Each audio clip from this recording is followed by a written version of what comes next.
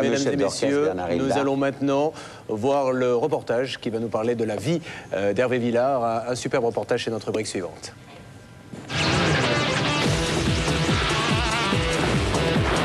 Alors Hervé, nous n'allons rien vous apprendre, mais Yann va apprendre à ceux qui ne connaissent peut-être pas aussi bien que vous et que nous votre carrière, les chiffres incroyables de ce qu'a été votre vie Hervé professionnelle. Villard est né en 1946 et c'est en 65 qu'on le découvre avec Caprice et Philly. C'est un succès phénoménal puisqu'il va vendre plus de 11 millions de disques. À l'époque, vous avez tout juste 19 ans, il a tout juste 19 ans, et avec cet argent, vous devenez millionnaire. D'un coup, vous achetez une Ford Mustang, je crois. Exact. Si elle était rouge ou pas? Elle était noire. Elle était noire, Elle dommage. était crème à l'intérieur. Alors que, vous- alors que surtout, vous n'avez même pas votre permis de conduire. Depuis 30 ans, vous avez enchaîné les succès. Méditerranéenne, Nous revient, Sayonara. Au total, depuis le début de votre carrière, vous avez vendu plus de 41 millions de disques et vous faites une soixantaine de concerts par an. Alors, cette question, je ne l'avais pas prévue, mais je vais vous la poser quand même. Quel est l'intérêt d'acheter une voiture quand on n'a pas le permis, euh, Hervé? Folie Non, c'est-à-dire que j'ai connu un homme à une période de ma vie qui m'a tendu la main, qui s'appelle Daniel Cordier, et qui, euh, à l'époque, la majorité était à 21 ans. Et j'étais pupille de l'État, il était mon tuteur devant la loi. Et cet homme, euh, en sortant, euh, lorsque j'ai touché ce fameux million de dollars, parce que c'était un million de dollars au fond, et euh, m'a dit, il faut de toute façon marquer le coup. Parce qu'il m'a posé la question, il m'a dit, mais qu'est-ce que tu veux? Je lui ai dit, je ne sais pas. Je n'avais pas réalisé. C'est la ne ce voiture ouais. Et puis je suis sorti dans la rue, après de chez le banquier, et je lui ai fait, je veux ça.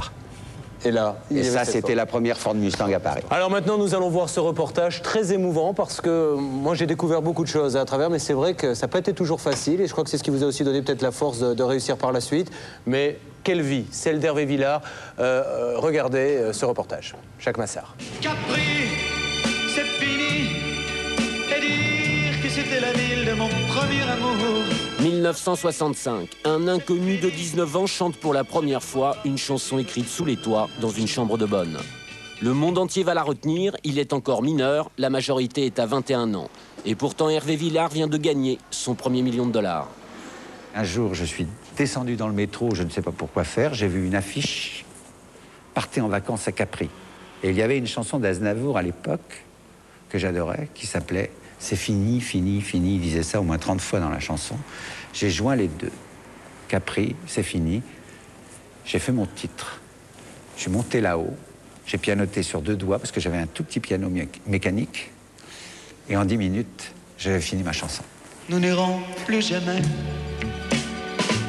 Où tu m'as dit je t'aime. Une belle revanche sur une vie qui avait mal commencé. 24 juillet 1946, Hervé Villard naît dans un taxi, place de la Bastille.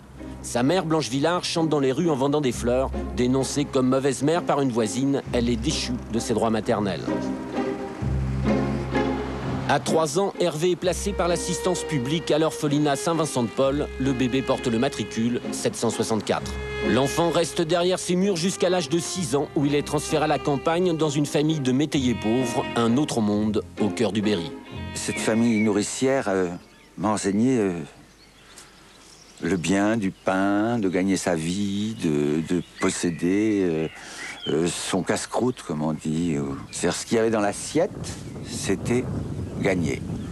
On ne mangeait pas de n'avoir rien fait. Mais sa mère retrouve la trace du fils qu'on lui a retiré. L'assistance publique s'oppose à leur retrouvaille. Six fois de suite, Hervé doit changer de famille d'accueil. Il est déraciné, déstabilisé. Blanche Villard le cherchera pendant des années. Je ne l'ai jamais rencontrée. Je ne savais même pas qu'elle me cherchait. Si ça se trouve, elle était pas loin là derrière. Et je ne le savais pas. Elle devait me surveiller. À 12 ans, Hervé atterrit à la Sellette, au pays du Grand Maulne. L'abbé Engrand, le prêtre du village, lui tend la main, une rencontre qui illumine sa vie. L'abbé le considère comme un fils et lui apporte l'essentiel, croire en soi. Mais à 14 ans et demi, avec pour tout bagage son certificat d'études, Hervé veut partir. Et je lui dis, je m'en vais. Je veux partir à Paris, retrouver ma mère. Et là, il ne m'a pas interdit de le faire en me disant, euh, c'est pas bien, euh, ne fais pas ça, tu vas être récupéré par la police. ou. Il m'a dit, va petit frère, mais reviens toujours me voir. L'adolescent cavale débarque à Pigalle, un univers merveilleux, celui des filles et des truands. Rue Germain Pilon, une prostituée prend le môme sous son aile, elle s'appelle Graziella. Graziella était la reine des filles. Et les filles euh, m'ont donné tout ce qu'elles avaient à me donner. De l'amour maternel d'abord, avant de m'apprendre autre chose. Elles me recueillaient ici pour pas que la police me prenne. Elle m'a repéré un jour où mon col de chemise était très sale. Elle s'était rendue très vite compte que je dormais dehors. Pour survivre, le Gavroche pique des voitures, cambriole quelques appartements. Arrêté par la police, Hervé refuse de balancer le nom d'un célèbre truand. Une question d'honneur. Pour ça, il fera un mois de prison ferme et réintègre l'orphelinat Saint-Vincent-de-Paul, une autre prison insupportable. Ce qu'on veut, c'est en sortir. On veut absolument tout connaître de l'extérieur. Dès qu'on connaît une petite chose de l'extérieur, on est le roi là. Dehors, il y a surtout Dalida. C'est la muse, la déesse inaccessible qui le fait rêver. Pour elle, il fera encore une fois le mur de l'orphelinat. Et c'est là où je me suis coupé les mains pour aller voir Dalida, où je suis allé voir Dalida les mains en sang, en lui offrant une rose quand même. À 16 ans, Hervé Villard, celui que tout l'orphelinat surnomme le Furet, est encore en cavale dans les rues de Paris. Un peintre lui présente cet homme, Daniel Cordier, grand résistant, ancien secrétaire de Jean Moulin. Une rencontre qui bouleverse définitivement sa vie. Il y a des gens qui vous tendent la main parce qu'ils se noient et vous n'avez pas 48 heures pour les saisir. Et là, il faut décider. Et, et cette rencontre, c'est ce cas-là. Je lui ai dit, je suis en cavale, je suis sorti d'orphelinat, je suis évadé. Et cet homme m'a dit simplement, tu m'as l'air bien, tu re-rentres en orphelinat, et moi je t'en sors. Promesse tenue. Daniel Cordier devient son tuteur, mais exige qu'il travaille. Hervé est disquaire sur les Champs-Élysées. Il veut surtout devenir chanteur et prend des cours au bœuf sur le toit. À 19 ans, pour ne pas décevoir l'homme qui lui a tendu la main, il écrit Caprice est fini. Une chanson bénie des dieux, le succès est fulgurant. Hervé Villard devient une star à 19 ans. Des journalistes de France Dimanche retrouvent sa mère qu'il n'avait jamais revue depuis l'âge de 3 ans. La rencontre a lieu dans une chambre d'hôtel anonyme, sous l'objectif des photographes, un choc.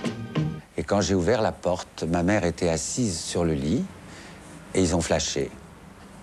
Et l'histoire a commencé comme ça. Dalida et Maurice Chevalier le soutiennent, Hervé Villard connaît la consécration en France. Il enchaîne succès sur succès tels que Mourir ou Vivre et Sayonara. 12 millions d'albums vendus dans le monde entier, Amérique latine, Japon, Moscou, le public l'acclame. C'est un dur, Hervé Villard, c'est pas du tout. c'est un homme qui. Il, n'aurait pas fait ce qu'il a fait dans sa vie si euh, c'était pas un, un garçon décidé. Ce qui est trompeur, c'est son apparence. Mais dans les années 70, malgré le succès, Hervé Villard est de nouveau en cavale. Il part en tournée en Amérique du Sud pendant sept longues années. La France et son public vont l'oublier. Il ne s'est pas laissé abattre, il a toujours essayé de remonter sur la vague. C'est un dur. Et ça, c'est quelque chose à la fois de... C'est très estimable.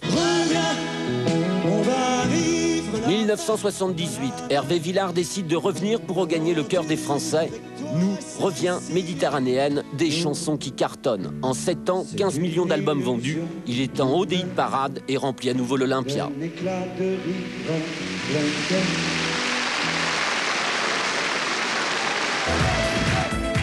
Aujourd'hui, à 55 ans et quelques cheveux blancs, Hervé Villard a pris du recul. Il vit depuis 10 ans à la Sellette, dans le presbytère de son enfance, restauré pierre par pierre, amoureusement. L'homme semble s'être posé. Quand on a partagé sa vie avec, j'allais dire, personne, il y a un moment où on a besoin d'accueillir les autres chez soi. Et chez moi, c'est là. C'est la maison du garçon.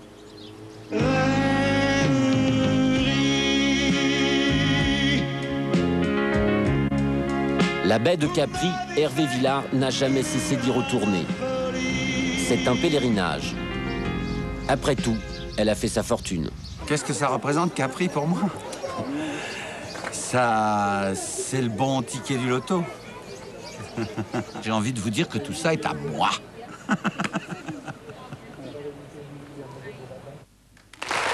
Hervé Villard par Jacques Massard. Notre prochain reportage sera l'étonnant et tragique destin de Lolo Ferrari. Ça fait quoi, Hervé, de... Bah, déjà, Marie, vous vous doutiez qu'il avait- un destin comme ça? Bah, Vous Bah, le je connaissiez, savais, donc... euh, oui, bien sûr. mais je que- savais. Quand on revoit tout son passé comme ça, ça, ça je sais pas, je me demande ce que ça peut faire. Avant Condensé en aussi peu de temps Avant toute chose, je voudrais saluer Jacques Massard, qui nous a suivis pendant longtemps. J'ai emmené à Pigalle, j'ai emmené dans, dans cette ferme qui est abandonnée et tout ça. Il a eu beaucoup de patience, je le dirigeais un peu, et cet homme a eu de la patience. Donc ça fait, ça fait qu'à un moment... facile à diriger, hein. Non, mais c'est pas grave. Je l'ai- emmené et je lui ai dit, vous me viens, je donnerez vos techniques, alors. On se vous voit d'ailleurs. Je lui ai dit, venez, je vais vous montrer. Et il a eu beaucoup de patience. Il a eu parfois de l'impatience, mais c'était très, très, très étonnant faire partager ça seulement à un type comme ça et de lui parler de, ce- de son histoire personnelle. Hervé, donc dans ce reportage, on a bien compris que l'administration euh, vous a placé dans une famille d'accueil suite à une dénonciation concernant votre maman pour mauvais traitement. Mais est-ce qu'elles étaient fondées, ces, dé- ces dénonciations? Je ne pense pas. Vous en avez parlé avec votre mère quand vous l'avez revue? Bien sûr. Je pense que toute femme fait des erreurs, toute femme a droit à l'erreur, mais je pense que c'est enlever un enfant euh, simplement sur une dénonciation, c'est la chose la plus horrible qui puisse arriver à une mère. Ça vous a traumatisé ces six changements de famille ou vous avez vécu ça Tout comme... à euh, fait, tout à fait. C'est-à-dire que à partir du moment où j'étais bien dans la première et qu'on m'a enlevé, après je me suis complètement déstabilisé et j'en avais plus rien à faire. C'est que je ne pouvais pas. Il y avait plus de loi. Non, j'avais pas envie d'être aimé, j'avais peur d'être aimé, j'avais la crainte d'être aimé, j'avais donc j'avais choisi, euh, j'allais dire la liberté, la nature, la vie, quoi. De- J'avais choisi autre chose. Un million de dollars à 19 ans, on pète pas les plombs avec autant de succès, On si y- jeune? On n'y pense pas.